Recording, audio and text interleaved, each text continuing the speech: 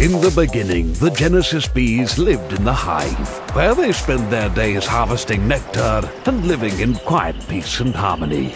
A few of the Genesis bees yearned to explore the land beyond the hive. Those Genesis bees called themselves the Explorers. But their queen would not abide by their requests. And even though they were forbidden to leave the hive, they charted paths they one day hoped to take, to see the rest of the universes. All that changed the day the pests attacked the hive.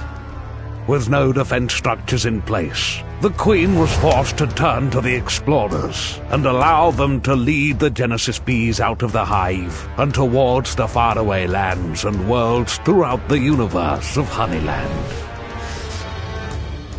When the Genesis bees left the hive, they were immediately amazed by what awaited them. Honeyland was host to seemingly infinite realms and lands, all filled with other bees. And these weren't just normal bees, but different classes and types, each with their own unique characteristics. The Genesis bees learned that these bees and their specific skill sets, when strategically deployed and combined, could harvest more nectar than ever before. They also discovered more hives with more queens, each completely unique and distinct. The explorers were determined to continue to explore and expand their reach throughout Honeyland.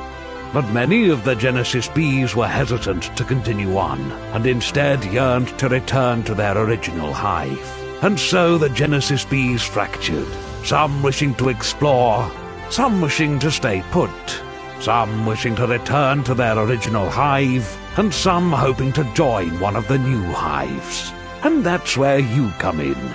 It's now your job to build your own colony of bees, to explore the honeyverse, and build your nectar supply. But remember, this is just the beginning of Honeyland.